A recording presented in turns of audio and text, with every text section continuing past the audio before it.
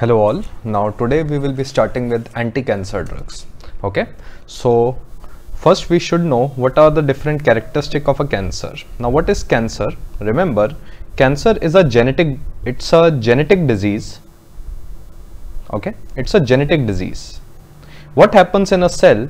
Inside the cell there is a dna genetic disease means there is some dna mutation. Okay so what happens in cancer? There is some DNA mutation. Due to this DNA mutation, there is formation of some abnormal growth protein. Okay. There is formation of some abnormal growth protein which can lead to uncontrolled cell proliferation. It leads to uncontrolled cell division. And this uncontrolled cell division is known as cancer. Okay. So what is cancer? Cancer is a genetic disease and there is some formation of abnormal growth protein which can lead to uncontrolled cell division. Now to kill this cancer, we have various types of treatment.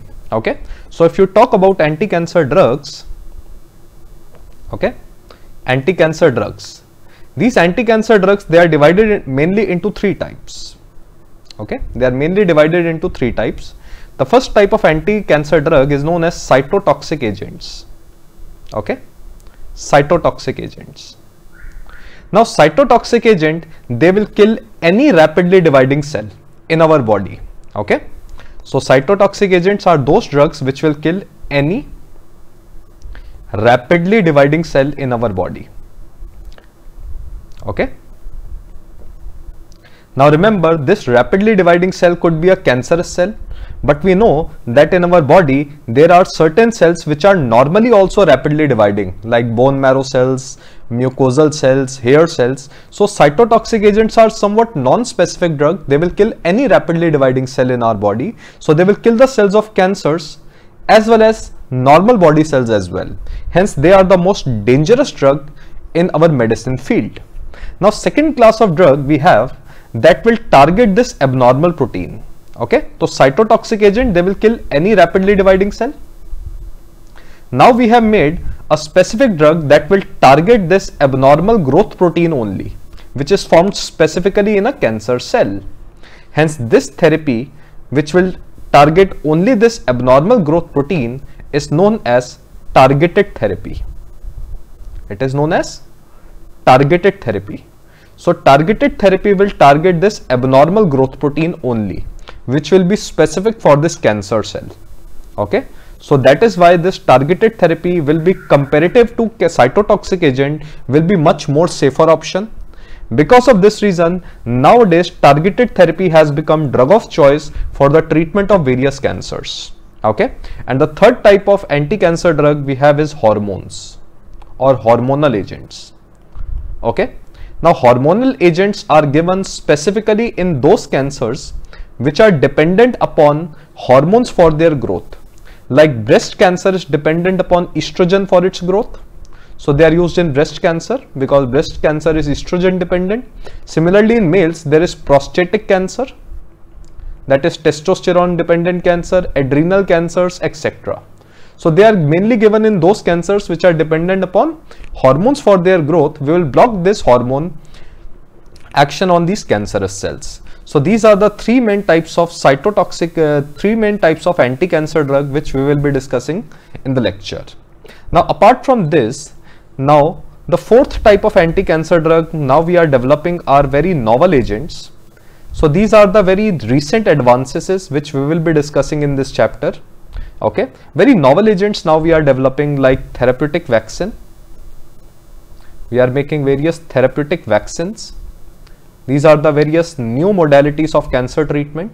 We are making CAR cell therapy. What is CAR cell therapy we will be discussing. So these are the certain newer therapies which are given to control the cancer in a human being. Okay. So these are the four main treatments options we have in anti-cancer drugs. Okay. So we will be starting each of them uh, one by one, but remember this targeted therapy you just write that this targeted therapy is divided into two types. It is also known as one type is known as small molecules and in small molecules we will be discussing many drugs like tyrosine kinase inhibitor, protein kinase inhibitors etc. and the second one we will be having we will be discussing is monoclonal antibodies okay so in targeted therapy we will be discussing two types of drug that is small molecules and monoclonal antibodies. So this is the complete list of anti-cancer drug that you must note. So i'll repeat again. The one is cytotoxic agent which will kill any rapidly dividing cell in our body. Then we have targeted therapy which will target any abnormal growth protein then we have hormonal agents which are given in specifically on those cancers which are dependent upon hormones for their growth and certain new recent treatment options now we are developing for the treatment of cancers. These are the novel therapies like therapeutic vaccines and CAR cell therapy. So this is the complete list of the anti-cancer drugs we have. So let's start with the first one. In this section, let's start with cytotoxic agents. Okay. So let's make a heading cytotoxic agent. Okay.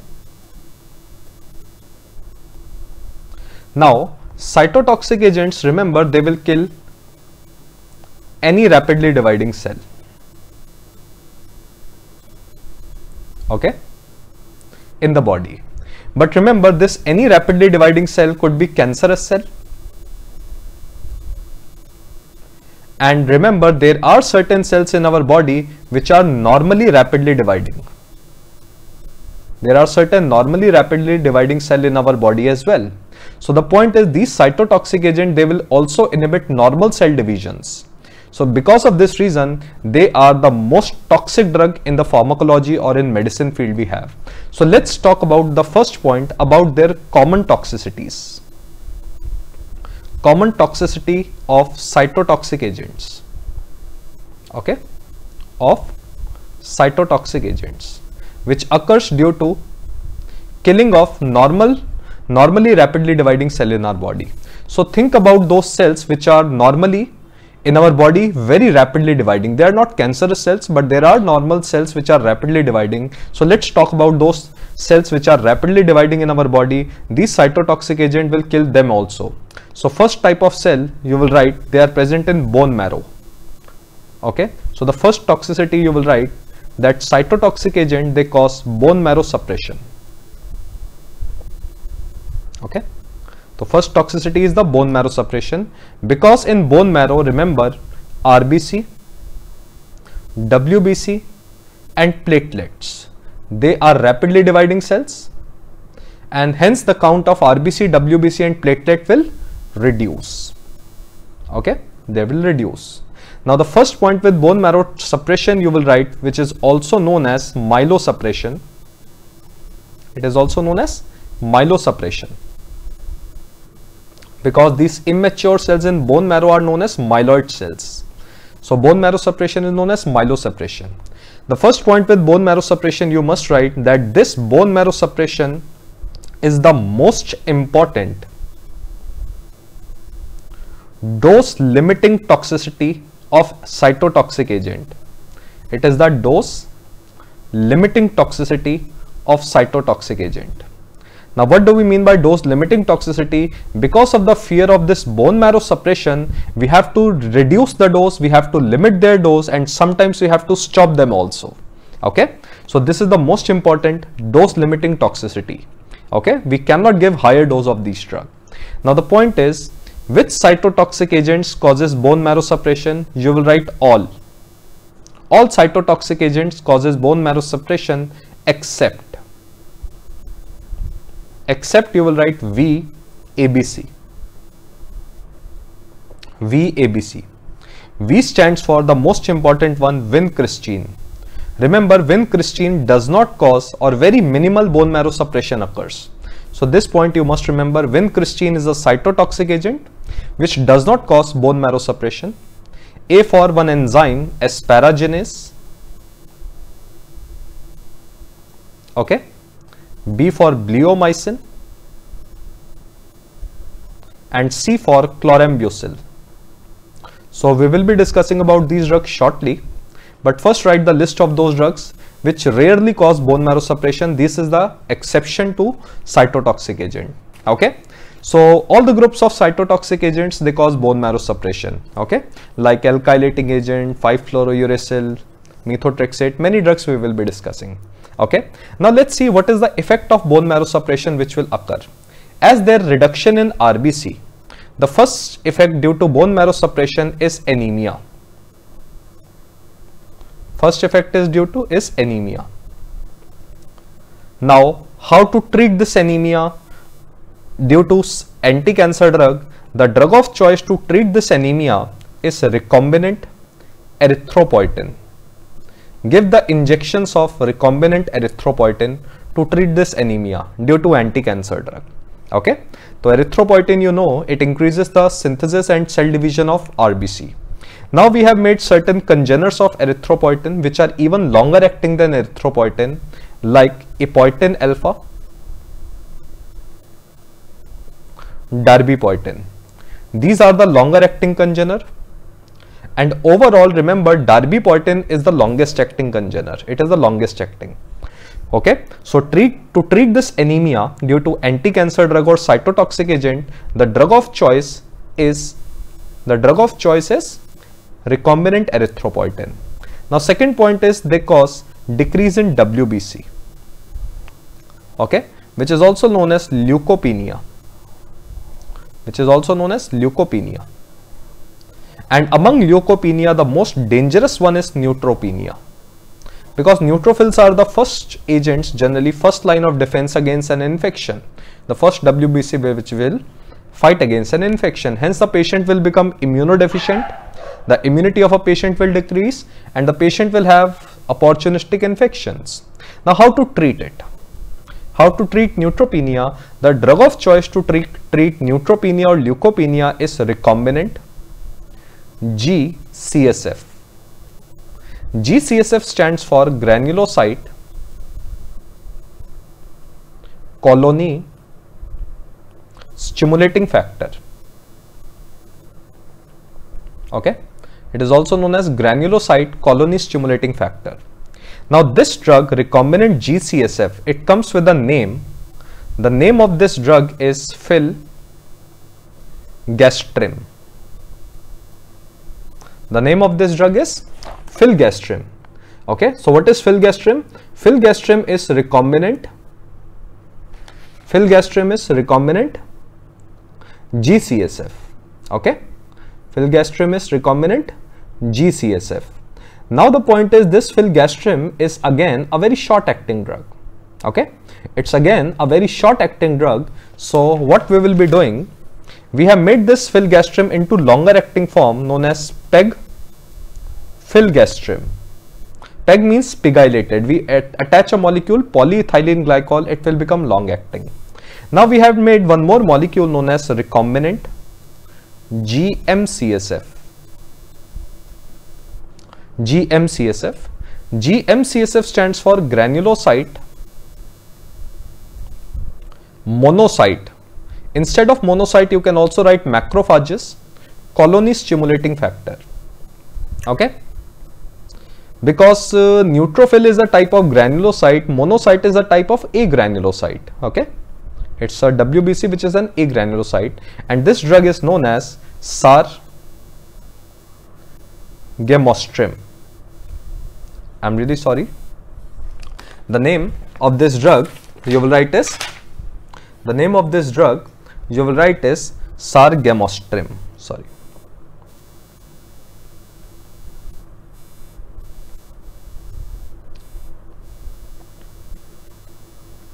You can also write molgramostim.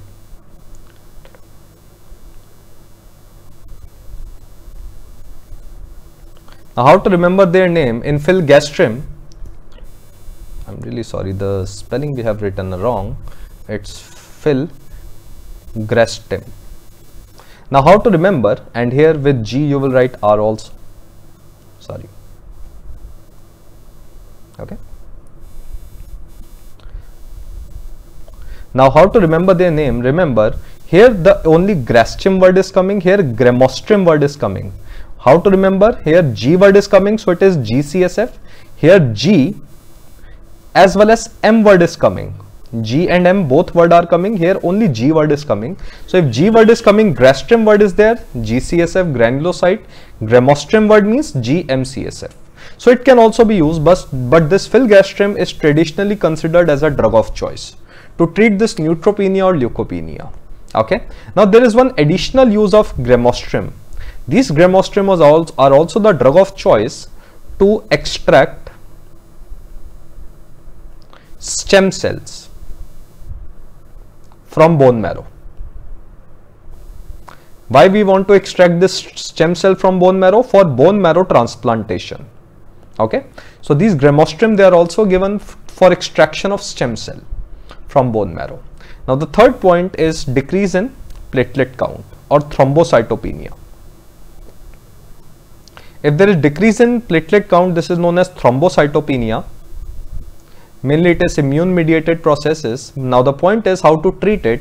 We give the injection of recombinant interleukin 11.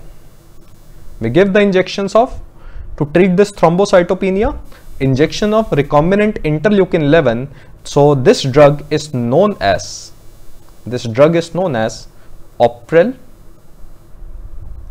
Vicin. This drug is known as Oprelvekin. Okay. Now how to remember this drug? As you are seeing kin word is coming. Kin means it's a type of interleukin. Kin word is coming. Now which type of interleukin as you are seeing ELVE word is coming. ELVE stands for 11. Okay.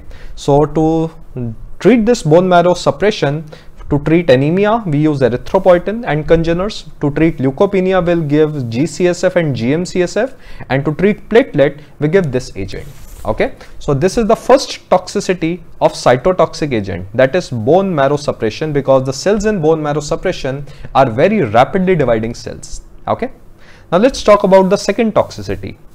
The second toxicity is mucus ulcers. Or mucositis which occurs in the mucosal cells of GIT okay? Because the mucosal cells of GIT are again very rapidly dividing cells which can lead to this process can lead to diarrhea. It can lead to malabsorption. It can lead to malabsorption. And this mucositis and GIT diarrhea and malabsorption is a classical toxicity of a drug known as 5-fluorouracil. 5-fluorouracil is a classical example whose most common side effect is diarrhea due to mucus ulcer but you can write other drugs are also there like irinotecan and you can write tyrosine kinase inhibitors. Okay? Tyrosine kinase inhibitors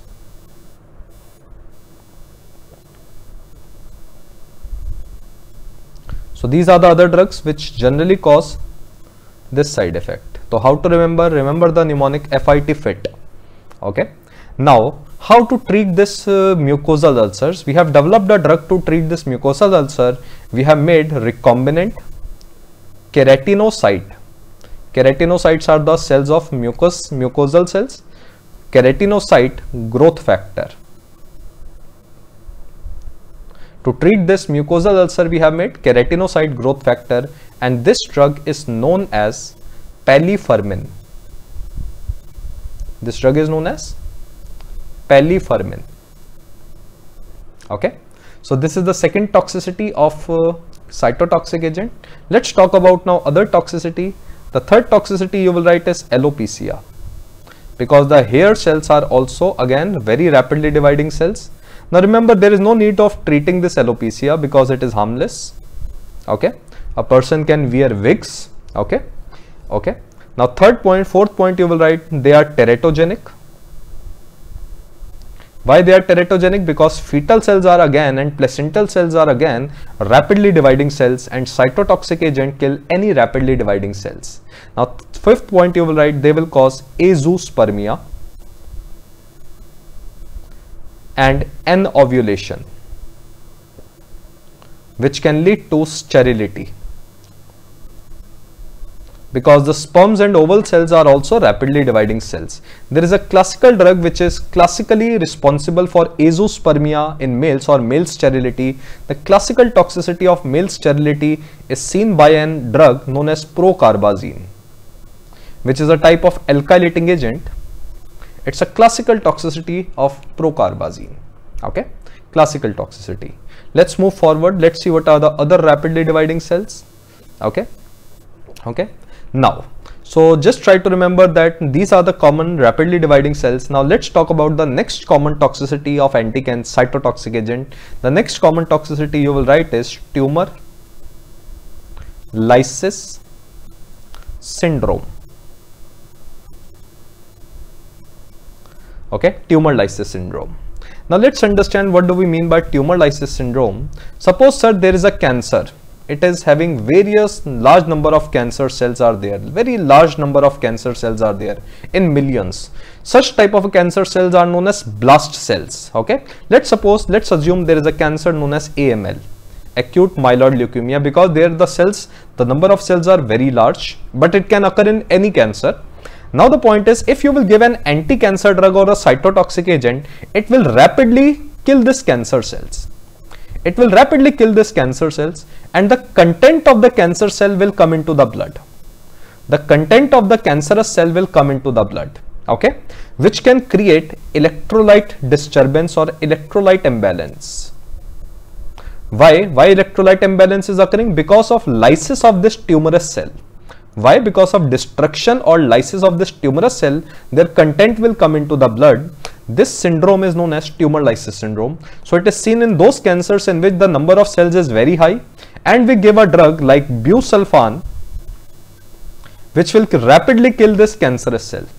So it's a classically seen in cases of AML and ALL acute myeloid leukemia and acute lymphocytic leukemia because it contains various large number of cell and when you give a cytotoxic agent like busulfan it will rapidly kill this cell and the content of this cell will come into the blood which will create electrolyte imbalance. This electrolyte imbalance could be life threatening and a patient may die.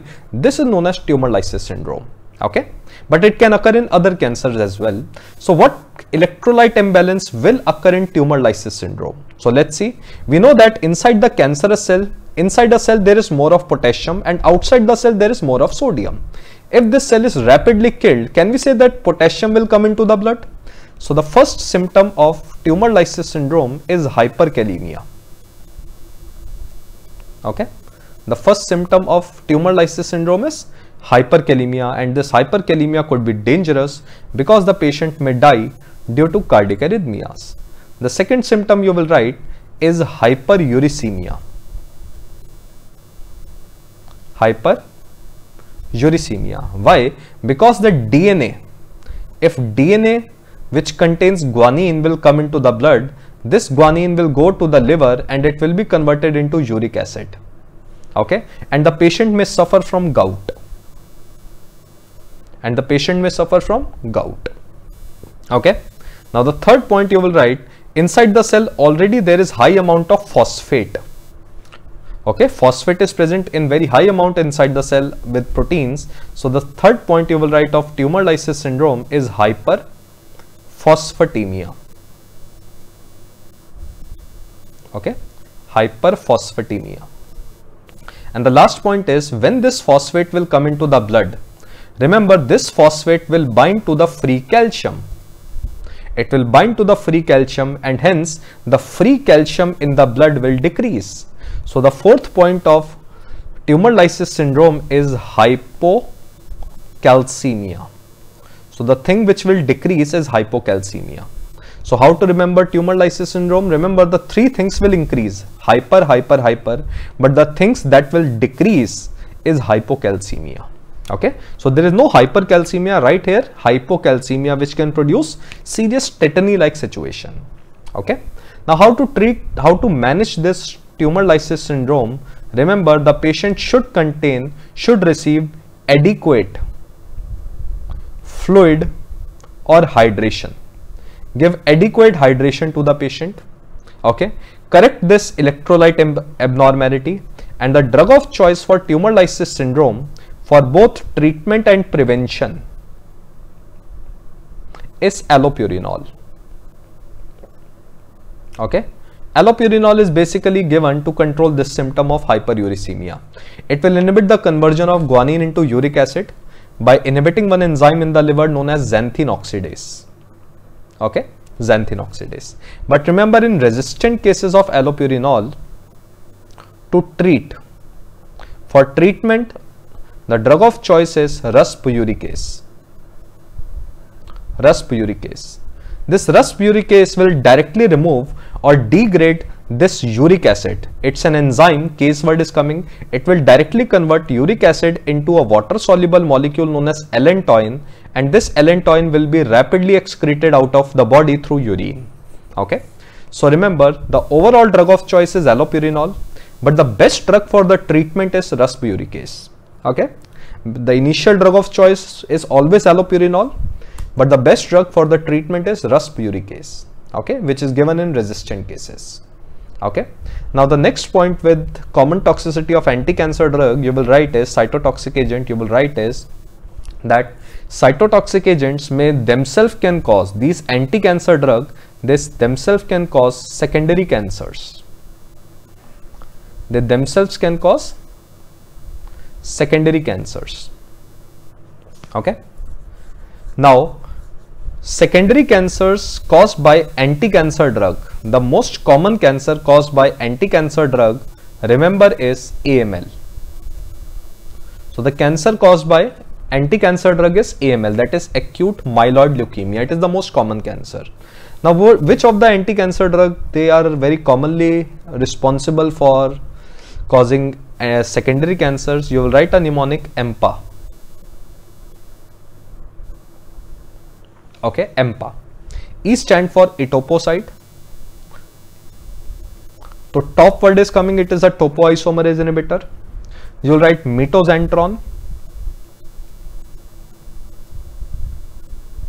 P for platinum compound. Like examples is cisplatin, they will end with the word platin, etc. And lastly, you will write alkylating agents. The most common alkylating agent which causes secondary cancers is melphalan. Okay, but other alkylating agents can also cause secondary cancers like procarbazine, etc. The most common is melphalan. And the most common cancer caused by secondary uh, secondary cancer caused by anti-cancer drug is AML. They themselves can cause cancer. But remember this etoposide causes early cancer.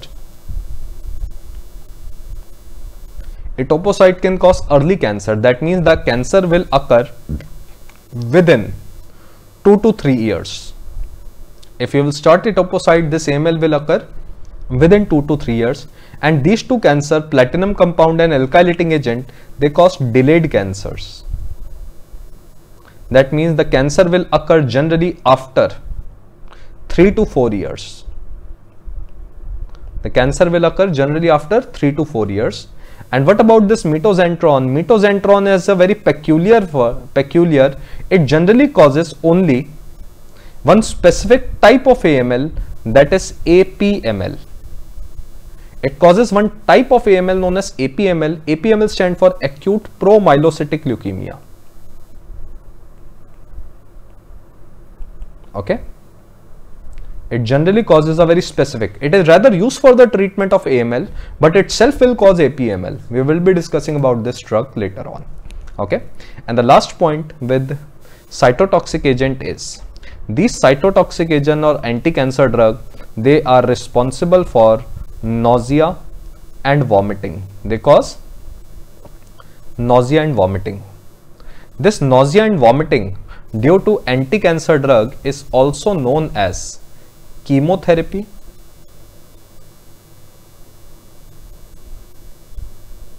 induced nausea and vomiting okay so chemotherapy means anti-cancer drug here so it is known as chemotherapy induced nausea and vomiting we will be using the short form as CINV okay now the first cause arises sir why they cause uh, nausea and vomiting. Remember the first cause of nausea and vomiting is due, is due to damage of cells. When they damage a cell, remember from this cells various chemicals are released into the blood. Various chemicals are released into the blood. Second point, they will damage the cells of mucosa of GIT. when the mucosa of cells of GIT will die, the chemical will come into the blood and the nerve cells, the nerves which are in the GIT, they will get stimulated. Now these chemicals which are present due to release of these uh, cells and these nerves which are present in GIT, they get stimulated. They stimulate one area in our brain which is known as CTZ area. CTZ area is known as chemoreceptor trigger zone. It's an area which is lying outside the blood-brain barrier. Okay, so it stimulates uh, the CTZ area known as chemoreceptor trigger zone, which is also known as vomiting center of our brain. And these chemicals, when are released, they will go and stimulate this CTZ area.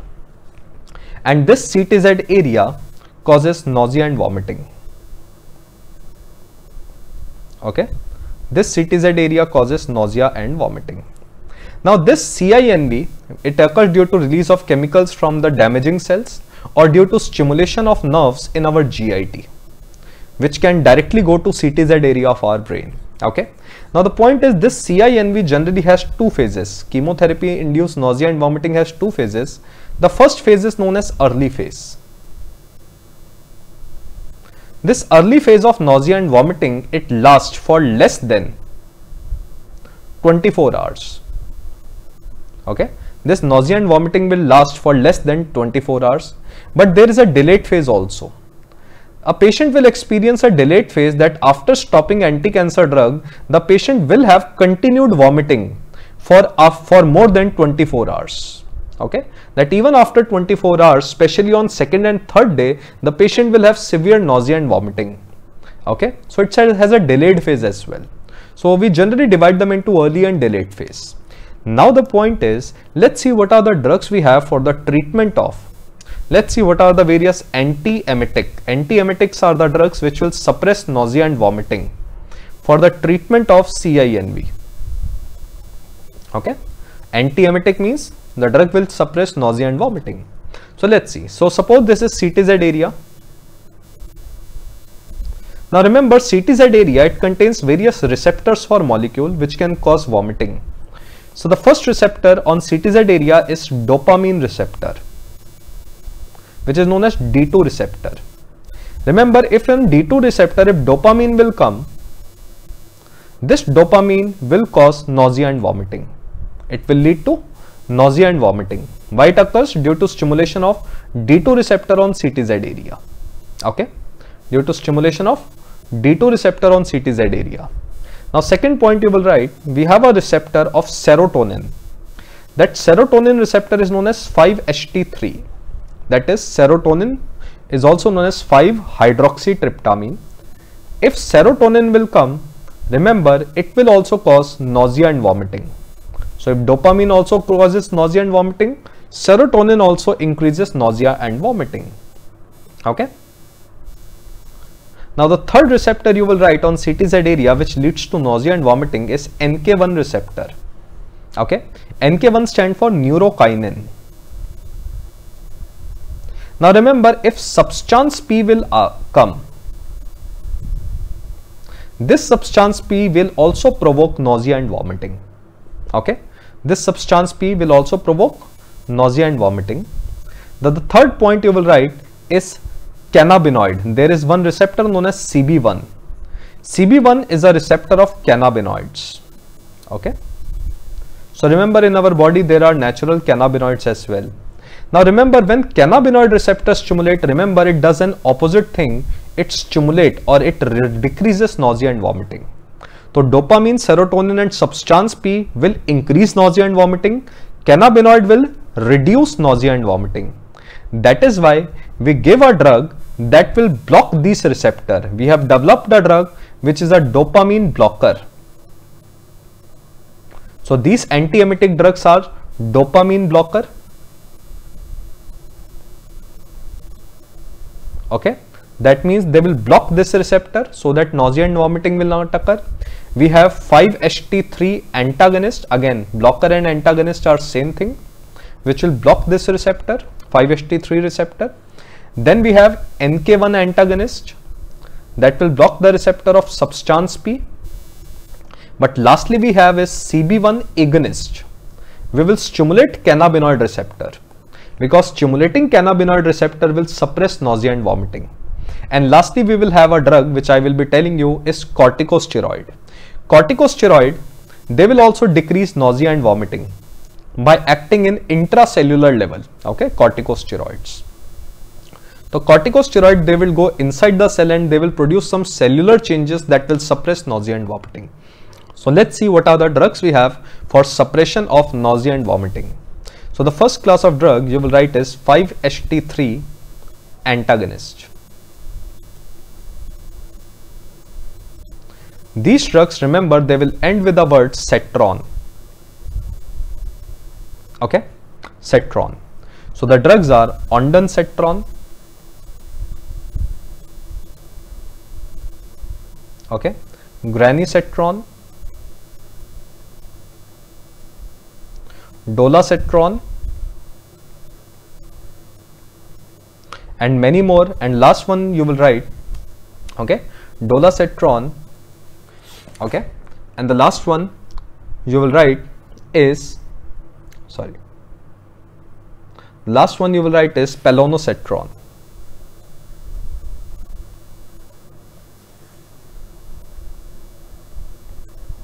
Okay? Now remember for CINV that is chemotherapy induced nausea and vomiting and also RINV that is radiotherapy induced nausea and vomiting. Radiotherapy also called damages or damage of cell. They are considered as a drug of choice. They are considered as a drug of choice for chemotherapy induced nausea and vomiting and radiotherapy induced nausea and vomiting. But there is a catch out here. The catch is that the first three drugs, they are very short acting drug. They are only effective in early phase They are only effective in early phase of CINV. But this last drug, palonosetron, is the longest acting drug. Because of this reason, palonosetron is effective in early as well as delayed phase of CINV. Phase also. So palonosetron is even effective in delayed phase of nausea and vomiting as well. Now the second class of drug we will write is NK1 antagonist. Now any drug in NK1 antagonist, it will end with the word pitant. Okay, so the drugs are, the drugs name you will write are aprepitant, fosaprepitant,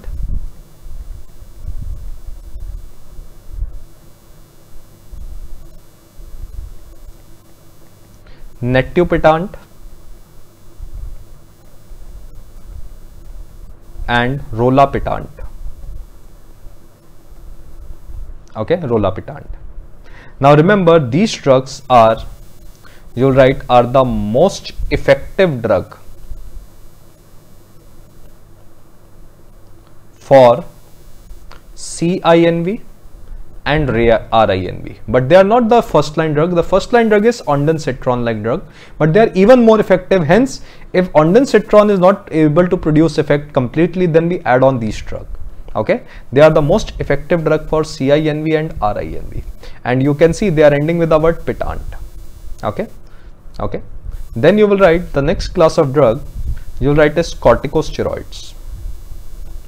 Corticosteroids, they are also given in CINV and RINV and they are also given as an add-on drug. The drugs are dexamethasone, the most commonly used drug. Okay, you can also use which is considered as a drug of choice among corticosteroid. You can also use prednisolone. Okay, now remember it is also effective in early plus delayed phase. These pitants are also effective in early and delayed phase as well, both. So these two drugs are given as an add-on drug to setrons. Okay. Now the fourth drug you will write is CB1 agonist. Cannabinoid receptor agonist. The drug name is dronabinol. And a new drug Nabilone. okay they are also given as an add-on drug okay now there is one great advantage of using this cannabinoid receptor agonist. Cannabinoid remember they increase or stimulate appetite. So these anti-emetic drug they increase appetite of the body. Okay?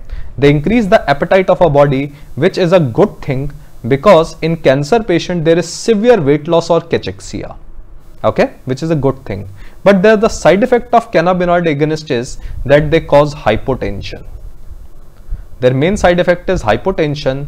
Because of this reason when you are giving cannabinoid agonist they require bp monitoring. They require blood pressure monitoring. And the last drug we have among the least preferred drug in CINV is D2 antagonist or D2 blocker. That is dopamine blocker. The drugs are metoclopramide,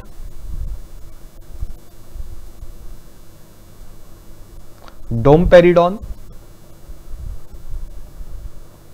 and antipsychotic drugs. Because antipsychotic drugs also block dopamine receptor like haloperidol and prochlorperazine. Okay? So they are the least preferred drug in CINV so this is the complete list of the drugs which are used to control nausea and vomiting due to anti-cancer drug. Okay so this is the complete list of the drugs. So this is the common toxicities of cytotoxic agents. So now the next part with cytotoxic agents we will start is we have discussed the common toxicity. So let's talk about now cytotoxic agents classification. What are the drugs we have? Okay. So we will discuss the classification of cytotoxic agent now we know the definition of cytotoxic agent that they will kill any rapidly dividing cell they kill rapidly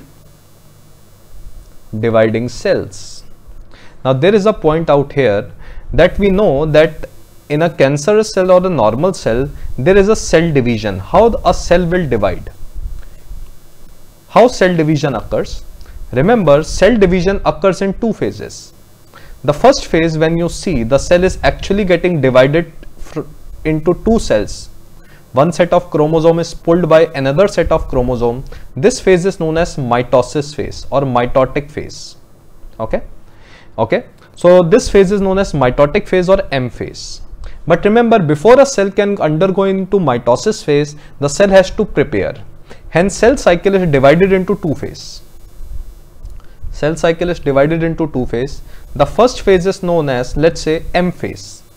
M phase is known as mitotic phase, when the cell is actually dividing. Okay. But before a cell can actually divide, remember a cell has to prepare also. So before mitosis can occur, a cell has to prepare this preparatory phase is known as interphase. Okay, so interphase is known as preparatory phase. So this preparatory phase it occurs in three parts. Okay, it is divided further into three parts that is G1, S and G2. So these are the three parts of preparatory phase. Okay, G1 first the cell will enter into G1 phase then S phase, then G2 phase and then finally the cell will undergo into cell division by M phase. Okay. So three components of interphase are G1, S and G2 phase. Okay. Now we know that cytotoxic agent they will kill rapidly dividing cell and they can kill any rapidly dividing cell in two, in two ways. They are further divided into two parts either they can kill a rapidly dividing cell into a particular phase like they will kill a cell in M phase, they will kill a cell in G1 phase, they will kill a cell in S phase or G2 phase. If they are killing a cell in a particular phase, then these cytotoxic agents are known as cell cycle specific drug. It means cell cycle specific drug means they will kill a rapidly dividing dividing cell in a particular phase okay in a particular phase but second class of cytotoxic agent we have that they can kill any rapidly dividing cell in any phase if they can kill in any phase then they are known as cell cycle non-specific drug. Okay, then they are known as cell cycle non-specific. So cytotoxic agents they are divided into either cell cycle specific or cell cycle non-specific. So cell cycle specific drug they will kill the drug kill the cell either in G1 phase, S phase, G2 phase or M phase. Okay. So let's write the names of those drugs which will kill the cell in different phases. Okay.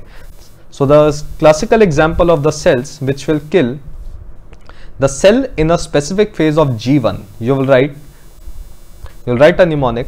Okay. The mnemonic you will write is, sorry, you'll write a mnemonic seat, hate, bed. Okay. And in M phase you will write vitamin C. Okay? You'll write a mnemonic vitamin C. So let's see what are these drugs. S for you will write steroids or corticosteroids.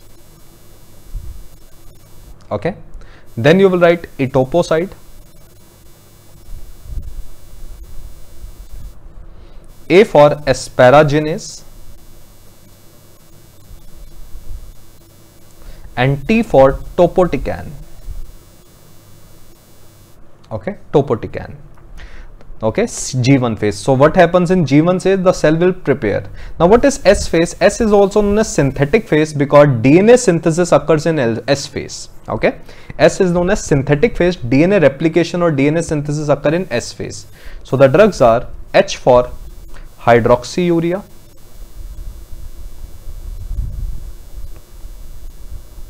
a for anti-metabolites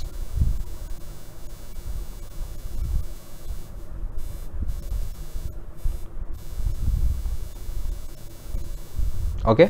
T for again you will write topotecan. And E for again you will write etoposide. Okay? Etoposide. Then bed you will write B for bleomycin. E for again you will write etoposide. And D for doxorubicin which is also a just like etoposide okay? Now remember that these drugs you are seeing are coming everywhere. Because these drugs I will be telling you are topoisomerase inhibitor. Topoisomerase inhibitor they act at all interphase. They act at all interphase. G1S and G2 together it is known as interphase. Okay? G1S and G2 combinedly it is known as interphase okay? Now what happens in m phase? In m phase remember the cell division occurs. One cell becomes divided from separated from another cell. One set of chromosome gets separated from another set of chromosome through this spindle fibers. And the spindle fibers are made up of a protein known as microtubule protein. So in m phase all these drugs vitamin c they are generally known as microtubule inhibitors okay? So these drugs you will write are v for vinca alkaloids.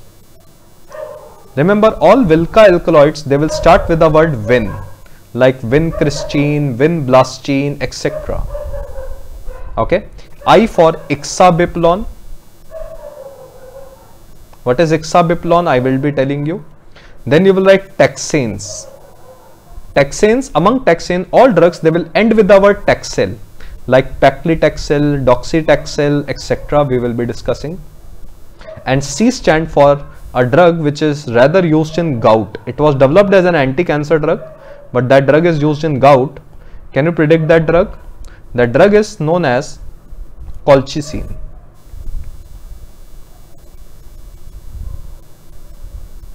Okay, colchicine. Now remember this vinca and uh, it, they act just like taxanes only. Okay, they all are microtubule inhibitors. Okay, so that we will be discussing shortly. So these are the drugs which will which are cell cycle specific. So in M phase, remember actual cell division occurs because the set of chromosome they will get separated from one another. Mitosis occurs in M phase. Okay, so M phase, remember mitosis occurs and this mitosis will arrest in between. Now this mitosis is also further divided into four stages prophase, metaphase, anaphase, telophase. Remember they will arrest this cell division at metaphase. So that we will be discussing when we will be discussing about the mechanism of action of these drugs in great detail. So just for your reference here right now you will write that these drugs they cause arrest of mitosis in metaphase because mitosis is further divided into prophase, metaphase, anaphase and telophase. Okay. So they cause metaphase arrest. Now what about cell cycle non-specific? So cell cycle non-specific drug, remember, they can kill cell at any phase. They can kill a cell at any phase. And there are two drugs we have. The first drug you will write is alkylating agents. Okay and second drug we have is platinum compounds. Okay, platinum compounds, they are cell cycle non-specific drug. Now why they are cell cycle non-specific we will discuss because these drugs they will cause direct DNA damage. They will directly attach to DNA and the DNA will get damaged and DNA you remember is present in each and every phase of cell cycle. A cell cannot live without DNA. Hence they are direct DNA damager. They can attach to DNA at any phase of cell cycle. Hence they are cell cycle non-specific drugs. Okay. So this is the complete list of the drugs among divided into cell cycle specific, cell cycle non-specific. So let's try revise the mnemonic that is SEAT, steroid, etoposide, asparaginase and topotecan, hate, hydroxyurea, antimetabolite, again topotecan and toposide, bleomycin, etoposide and bed. So seat head bed, vitamin C. Okay, so these are cell cycle specific and cell cycle non-specific you can write as alkylating agents and platinum compounds. Okay, so try to remember them. So this is the classification of cell on the basis of cell cycle specific and cell cycle non-specific. Okay, so let's write the classification of these drug.